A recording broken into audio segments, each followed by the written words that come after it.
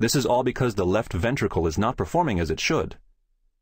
So to try to fix this, we will inject the stem cells into the left ventricle. I have already prepped the patient, so we have a sterile field for the catheterization. Begin by locating the femoral artery. Now insert a large bore needle into the artery. Insert the 18 centimeter short guide wire through the needle.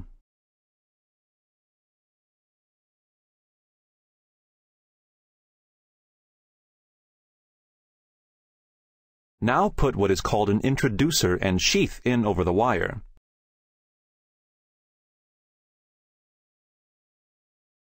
The introducer is a thin plastic tube that helps get through the artery.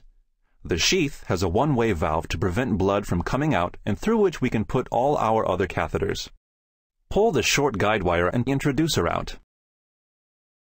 The introducer will leave a sheath behind, which will hold the artery open for us. Insert the long guide wire.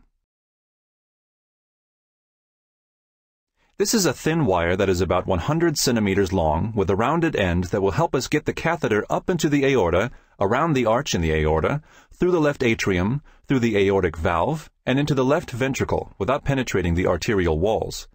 Remember, this is an arterial system under pressure from the heart. If we penetrate the arterial wall, the patient could bleed to death internally.